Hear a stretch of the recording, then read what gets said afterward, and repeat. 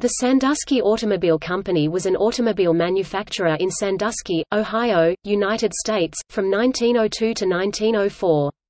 It was located at 1114 Camp Street.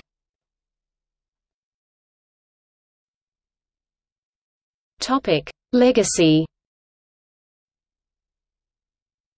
The Sandusky Automobile Company was founded by James J. Hinde who had been a successful paper manufacturer who entered the automobile business with the belief that a small, reasonably priced car could capture a mass market.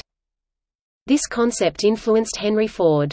The Lucas County, Maumee Valley Historical Society concluded that, "...the Sandusky Automobile Company may be far more significant because of the passing interest of Henry Ford than for the number of cars they built and sold."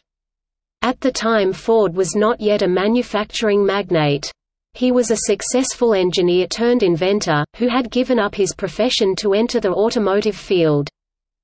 Although the company did not succeed, James J. Hinde made conceptual contributions to the production strategy of Henry Ford.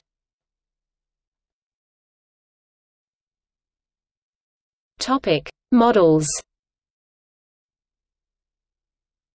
The company made an open runabout car, seating two people.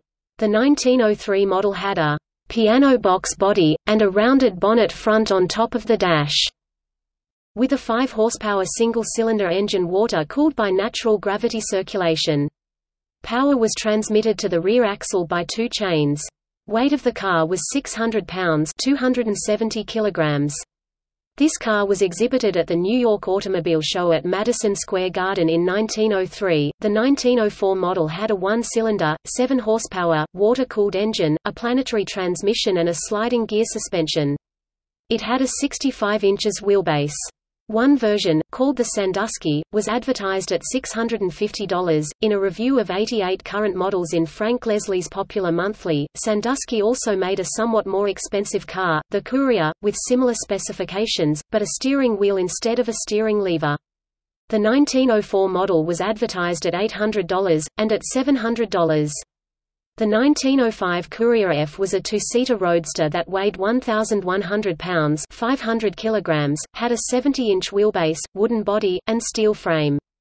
The engine was one-cylinder and 7 horsepower, with a transmission that had two forward speeds and reverse.